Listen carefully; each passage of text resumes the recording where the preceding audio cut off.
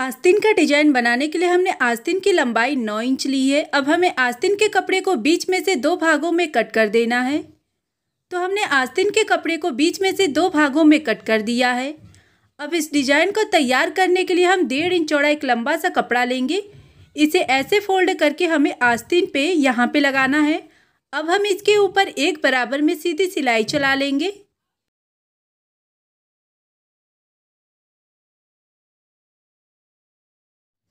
अब हमें यहाँ से धागे को कट कर लेना है और एक्स्ट्रा कपड़े को भी।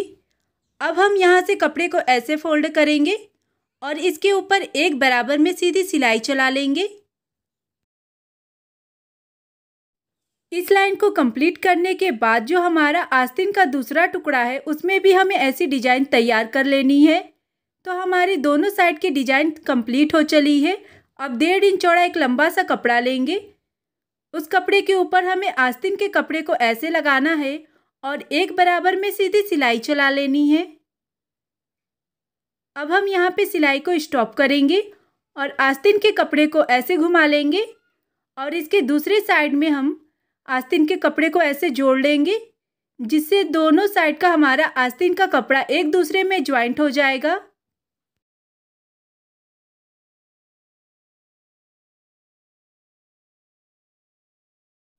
अब हमें यहाँ से धागे को कट करना है और नीचे की साइड से एक्स्ट्रा कपड़े को भी कट कर लेना है। अब हमें यहाँ से ऐसे तिरछी में चुनट बनाना है। ये एक और ये दूसरा चुनट। एक साइड में हमें दो चुनट बनाने हैं। अब हम इस साइड में दो चुनट बना लेते हैं। तिरछी में हमें चुनट बनानी है।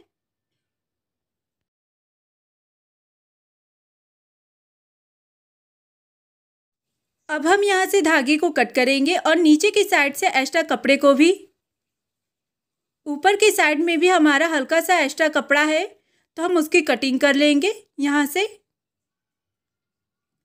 इस लाइन को कंप्लीट करने के बाद डिज़ाइन में हमें बटम लगा देने हैं तो हमें यहाँ पे ऐसे बटम लगाने हैं फ्रेंड इस लाइन को कंप्लीट करने के बाद हमें ऐसे बकरम की कटिंग कर लेनी है। डिज़ाइन की लंबाई तीन इंच है और डिज़ाइन की चौड़ाई ढाई इंच है। इसे स्त्री की सहायता से हमें कपड़े पे ऐसे चिपका देना है और सेम साइज़ का हमें दूसरे कलर का कपड़ा लेना है। कपड़े को हमें ऐसे ज्वाइंट करना है। अब जिस शेप में हमारा बकरम का डिज़ाइन है, बिल्कुल उसी शेप में हम इसके ऊपर सिलाई चला लेंगे।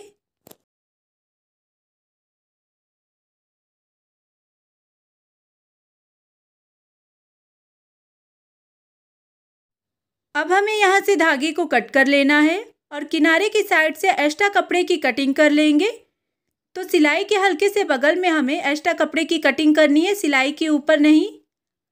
अब हम इसे फोल्ड करके सीधा कर लेंगे। तो ऐसे हमें अच्छे से इसे सीधा कर लेना है और इसे सीधा करने के बाद हमें इसे इस्त्री कर देना है और ऐसी फ्रेंड हमने ढेर सारी डिज़ाइन बना ली है। इस डिज़ाइन को तैयार करने के लिए हमें तीन इंच चौड़ा एक लंबा सा बकरम लेना है। बकरम को हमें कपड़े पे ऐसे चिपका देना है। बकरम की लंबाई आस्तीन की चौड़ाई के बराबर होनी चाहिए। अब हमें डिज़ाइन को ऐसे हाफ़ फोल्ड करना है। यहाँ से तिरछी में हम ऐसे फोल्ड करेंगे और इसके ऊपर सिलाई चला लेंगे। सेम स्टेप को फॉलो करते हुए एक के बगल में एक हमें डिज़ाइन को इसी तरीके से फोल्ड करके लगाते जाना है और इसके ऊपर सिलाई चला लेनी है। अभी तक आपने हमारे चैनल को सब्सक्राइब नहीं किए हैं तो प्लीज़ हमारे चैनल को सब्सक्राइब करके घंटे को बजाकर आल का ऑप्शन ज़रूर सेलेक्ट करें, जिससे हमारी नेक्स्ट वीडियो की नोटिफिकेशन मिलती रहेगी।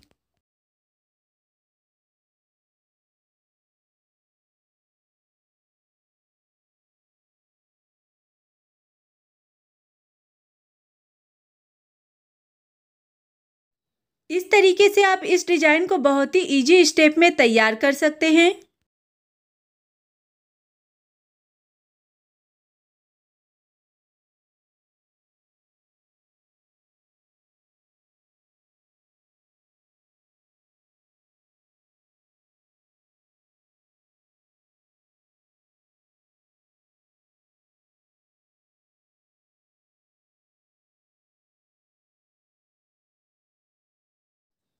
इस लाइन को कंप्लीट करने के बाद अब हमें किनारे की साइड से एक्स्ट्रा कपड़े की कटिंग कर देना है। तो हम ऐसे एक्स्ट्रा कपड़े की कटिंग कर देंगे।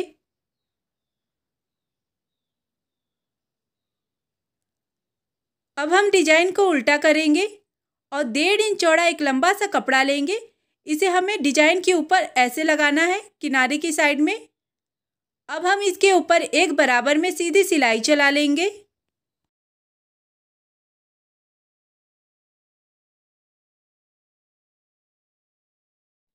अब हम यहाँ से धागे को कट करेंगे और एक्स्ट्रा कपड़े को भी। डिज़ाइन को सीधा करते हुए हमें कपड़े को ऐसे फोल्ड करना है। और इसके ऊपर एक बराबर में सीधी सिलाई चला लेनी है। कपड़े को फोल्ड करते हुए इस बात का ध्यान रखें कि फोल्ड किया हुआ कपड़ा आपका एक साइज़ में होना चाहिए, कहीं ज़्यादा चौड़ा और कहीं ज़्यादा पतला नहीं होना चाहिए। बिल्कुल एक बराबर होना चाहिए, जैसा कि आप वीडियो में देख रहे हैं। अब हमें यहाँ से धागे को कट कर देना है। इस लाइन को कंप्लीट करने के बाद अब हमें इस डिज़ाइन को आस्तीन के कपड़े में ज्वाइंट करना है तो ये रहा हमारा आस्तीन का कपड़ा।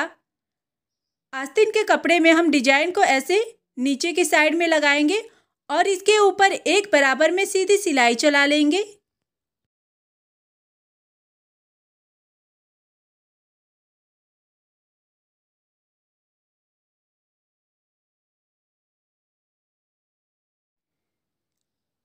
तो फ्रेंड हमारी ये लाइन भी कंप्लीट हो चली है। अब हम यहाँ से धागे को कट कर लेंगे।